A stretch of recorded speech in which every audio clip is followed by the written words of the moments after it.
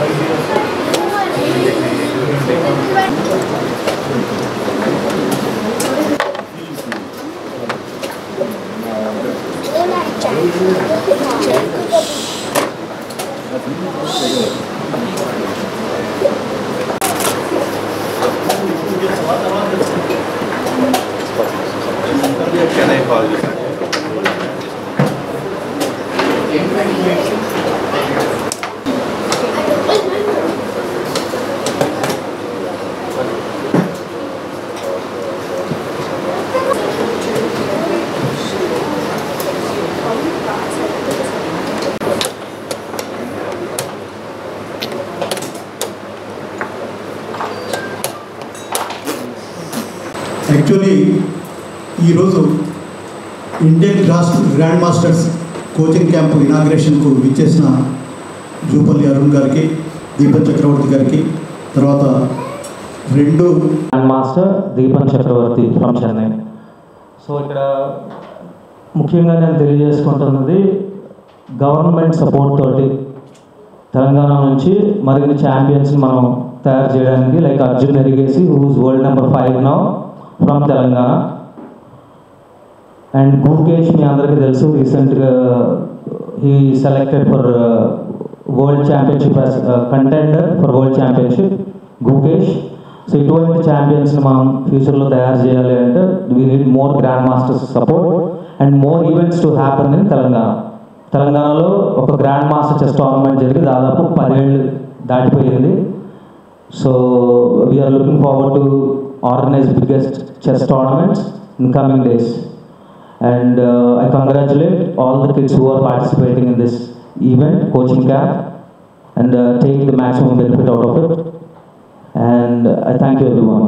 Thank you. KVBR స్టేడియంలో అప్- అప్పుడు వన్ ఐఎం పెట్టారు దాని తర్వాత ఇప్పటి వరకు we did not have any grand master tournament actually why these grand master tournaments why these tournaments are important is we we know that the benefits of chess. Everybody here know the benefits of chess.